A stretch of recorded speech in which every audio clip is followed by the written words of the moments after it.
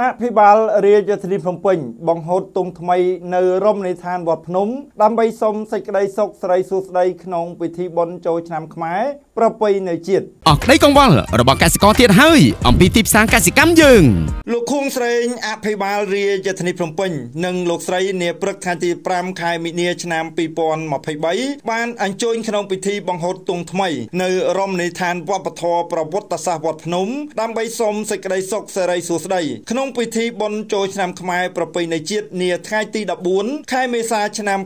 2023ខាងមុខនេះពិធីនោះលោកខុងស្រីនិងលោកស្រីបានប្រារព្ធពិធីតាមបែបសាសនា នៅក្នុងវិហារធំលើកំពូលវត្តភ្នំ រួចបន្តហែតុងព្រះពុទ្ធសាសនាទង់ជ័យឆប់ពន់រាំងសីមកខាងមុខព្រះវិហារនិងបានបង្ហូតទង់ទាំងពីរឡើង ការប្រារព្ធធ្វើឲ្យមានពិធីនេះឡើង គឺដើម្បីឧទ្ទិសដល់ចលាមនីចេតិយរំលឹកគុណដល់បុព្វការីជន អ្នកកសាងវត្តភ្នំកសាងរាជធានីភ្នំពេញនិងសូមឲ្យបុព្វការីជនទាំងនោះជួយថែរក្សាប្រជាពលរដ្ឋទាំងអស់ពិសេសប្រជាពលរដ្ឋរស់នៅរាជធានីភ្នំពេញឲ្យជួបតែសេចក្តីសុខចម្រើន មានសេរីសួស្តីក្នុងពិធីចូលឆ្នាំខ្មែរប្រពៃណីជាតិត្រូវនៅថ្ងៃទី14ខែមេសាឆ្នាំ2023នេះទង់ជ័យឆពនរាំងសីដែលបានបង្ហូតឡើងនេះតំណាងឲ្យជាតិសាសន៍ឬព្រះពុទ្ធសាសនានៅលើពិភពលោកធ្វើឲ្យពុទ្ធសាសនិកមានចិត្តស្ងប់គោរពបូជាចំពោះព្រះធម៌និងរួមចិត្តថ្លើមគ្នា ដើម្បីបានសេចក្តីសុខសប្បាយរហូតតទៅអ ស់ក្តីកង្វល់